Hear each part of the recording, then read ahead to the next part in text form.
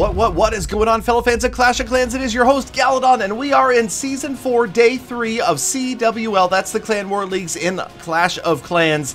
And we're talking about Lost Phoenix venturing after the Champion 1 spot. We are chasing the top clans in the world, and today, facing War Kings 2, a clan that looks to have well, they're just not performing up to uh, what they had hoped. They did three-star one of our bases, though. So we go on to burn Lost Fezzi's base, since it technically has kind of already been burned by getting three-starred. I'm sure that Fezzi was planning on changing the base anyway, especially when it fell to a bit of a spammy attack. You've got the Bowlers, the Witches, the Giants in three rows, just kind of all the way across the top right of this base. Now, it did work out to be some pretty good funneling, and I have to say we saw some great spell timing and placement as we get deeper into this attack, but it just kind of started out looking a little bit spammy. Either way, a good attack because it's a 3-star against a very high level Town Hall 12, nearly maxed out. Obviously the walls are not, but most of the defenses are. Great jump spell right there, and check out the freeze! Beautiful freeze on the Inferno Tower Expo and the Town Hall. That right there saves the three star, as of course did the Warden's ability. Getting that Warden funneled into the core, using that ability, saving the damage from the Giga Bomb, and as you can see, not a whole lot left to stop this attack right now. In fact, look how quickly, I mean, we're barely into the beginning of this video, not even two minutes in, and Lost Fezzi's base is just about already done. Talk about an overkill. So many units left, and it really didn't take that much time for JR from War Kings to drop the 3-star on Lost Phoenix. And so far, the only 3-star from War Kings against Lost Phoenix, and Lost Phoenix only dropping one 3-star total in this entire war so far. We will get to that next. Check out the overkill. Great attack. Got to remember that one. Okay, 16 bowlers, 12 witches, 8 Giants. Easy to remember. P.E.K.K.A. Giants in the Wall Wrecker. Alright, but let's move on and check out. As you can see, Lost Phoenix has completed all 15 of their attacks, and the only base we were able to triple was thanks to Bounty Hunter, base number 15 on War King's side. This is kind of a base that you, if you've been in Clan War a lot at Town Hall 12, you've seen this base before, and it definitely could fall victim to a number of attacks Gotta give a shout out to Bounty Hunter right here for a very original attack. Queen walked with only three healers, Stone Slammer, Electro Dragons, and Bat Spells.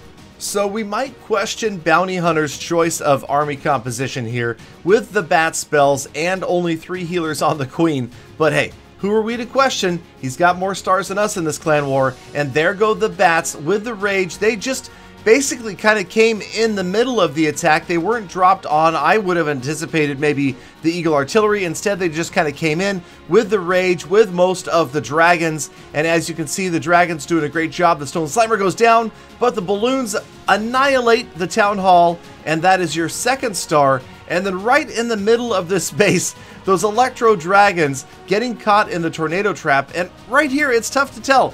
Is this going to be a three star? Oh, I mean, you, you know it is, but I'm just saying, if you didn't know, would you know? Would you have guessed? It looked like maybe there weren't a lot of Electro Dragons left. As you can see, they're going down left and right. One Inferno Tower is still up, and then the Archer Queen, surprisingly, hanging on strong right here with her healers.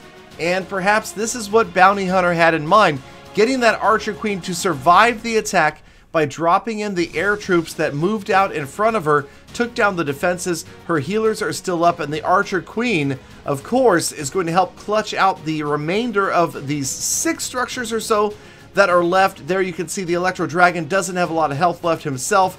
The Grand Warden's almost out of here. The Queen's ability is gone as well.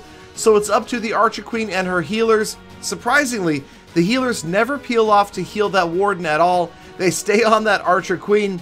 So does the multi-target Inferno, but luckily she's got plenty of health, plenty of time to get through this wall with the Warden helping out. You can see the Dragon doesn't make it, but the Archer Queen, had this been a multi-target Inferno, it ends differently, but instead she gets through the wall, comes on in here, takes out the Inferno Tower, and grabs the only three star for Lost Phoenix icing the victory, but there's no time to celebrate because tomorrow begins our toughest match yet.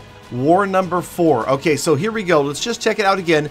We had 31 stars against War Kings, so we've gotten the max 30 stars or better in every war so far, this being only day three. Obviously, War Kings not done attacking yet, at least we hope for their sake they're not done attacking yet. But let's take a look at the overall standings. All-Star DU 45, All-Star DU 45, they are ahead of us by over 200% in damage, although we are tied in stars at the moment.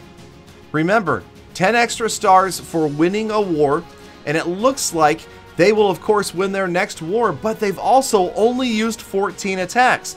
So we're anticipating they'll tack on an additional two stars, most likely, against this other clan that they are beating right now. So that means they will be ahead of us going into day four. They will be the number one clan, and we will be number two a big lead over third place, about almost 20 stars, 19 stars. But again, day four, round four, Lost Phoenix faces All Star DU 45. That is going to be the epic matchup of this entire season. Can we at least, I'm hoping for at least a tie on stars. I don't know. It's going to be tough. They're obviously the best clan here so far. And you can see they have just the slightest edge over Lost Phoenix they scored a better overall score against the clan that's in, um, I think it might be Farsi. I don't know what language it is, but they had an overall better score. They had more stars against that clan. Since we had both faced that clan, you can kind of tell that perhaps they have a just ever so slight advantage right now, and it could make the difference. Again, we just want to finish first or second. So tomorrow, that's going to be the big war. Hope you guys tune in. I will live stream part of it on Twitch. So if you're around, come to www.twitch.tv slash GaladonCOC. Check out the live stream. And I tell you what, I'll be giving out gift cards for every Lost Phoenix 3-star. Every time Lost Phoenix grabs a 3-star, or for however many 3-stars we have in the war, I will give a gift card, either Google Play or iTunes, to the chat. That is on Twitch, so make sure you stop by. But that's it for now. The video's over. Thank you guys for hanging out till the end. I know it's not as long as yesterday's video, but you know, we got to balance things out sometimes. Again, look for me around 7 p.m. Pacific time almost every night on Twitch. Hope you guys can join me. The URL is right there. In the meantime, thank you for hanging out. Thank you for spending a few minutes every day with me. Like, comment, subscribe, be kind to other people, be kind to animals, and I'll see you all back here again tomorrow for more full attacks.